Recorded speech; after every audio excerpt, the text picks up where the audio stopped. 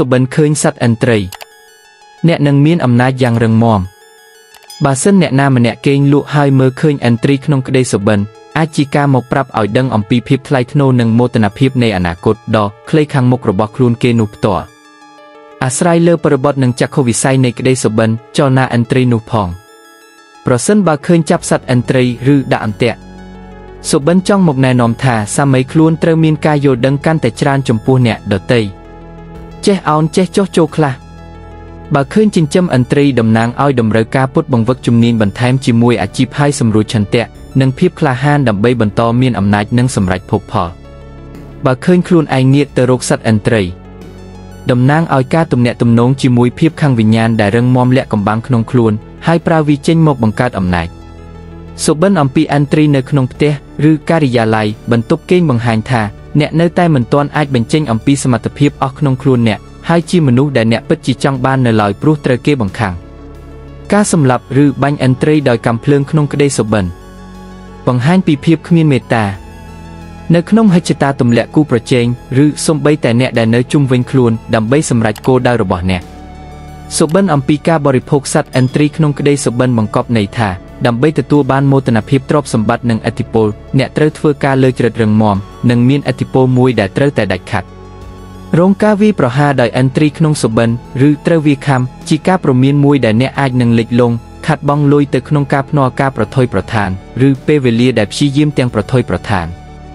ប្រហែលជាអ្នកកំពុងរៀបចំផែនការកាន់កាប់ទូនីតិឬទិញយកក្រុមហ៊ុនវិនិយោគដូរការងារលើដែលមានគ្រោះថ្នាក់ឬបុគ្គលផ្សេងទៀតដែលនឹងប៉ុនប៉ងធ្វើបាបអ្នកក្នុងជីវិតពិត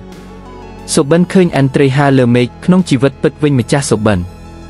នឹងប្រព្រឹត្តយ៉ាងស្វាហាប់ក្លាហានជាមួយបំណងប្រាថ្នាខ្ពស់តែត្រូវតែអត់ធ្មត់ដើម្បីរងចាំពេលវេលាល្អឥតខ្ចោះនិងវិប្រហាយកគោលដៅដោយភាពជាក់លាក់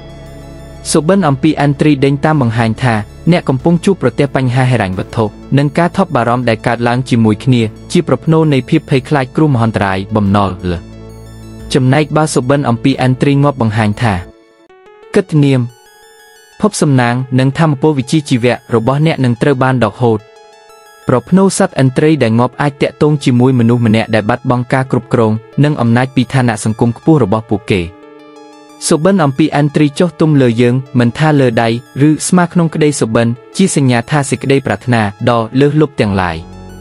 คล้ายជាសម្រេចបានងាយងាយទំនាក់ទំនងល្អប្រសើរជាមួយអ្នកដែលនៅជុំវិញទាំងនៅកន្លែងធ្វើការនិងនៅផ្ទះចំណែកយោសុបិនឃើញសត្វឥន្ទ្រីសម្រាប់ពូបង្ហាញថាមានអ្នកក្បត់នៅជុំវិញម្ចាស់សុបិនក្នុងជីវិតពិតប្រផ្នូលនេះគំរាមកំហែងដល់ឋានានុក្រម ការងារដែលអ្នករួមការងារព្យាយាមផ្ដួលរំលំតែការប៉ុនប៉ងនោះទំនងជានឹងបរាជ័យរីឯបើកេងសុបិនឃើញស្លាប់ឥន្ទ្រីបង្ហាញថាអ្នកនឹងទទួលបានកិត្តនាមរហ័សមួយនឹងទទួលបាននៅហិរញ្ញវត្ថុដែលមានមកជាមួយកិត្តនាម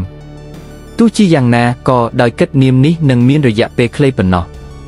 អ្នកនឹងត្រូវការអភិវឌ្ឍខ្លួនអ្នកនឹងរូបភាពរបស់អ្នកឲ្យបានពេញលេញដើម្បីទទួលបានឥទ្ធិពលយូរអង្វែងពិភពសំណាងនេះជាសរុបមកវិញឥន្ទ្រីក្នុងសុបិន ជាប្រផ្នូលល្អដែលបង្ហាញពីរូបភាពនិងភាពក្លាហានក្នុងសង្គមរបស់ម្ចាស់សុបិនបំណងប្រាថ្នាគេនឹងរីកចម្រើនអរគុណបងប្អូនទាំងអស់គ្នាបើសិនពេញចិត្តនៅវីដេអូមួយនេះសូមចុច like ហើយចុច subscribe បន្ទាប់មកទៀតសូមចុចសញ្ញារូបកណ្ដឹងសូមអរគុណ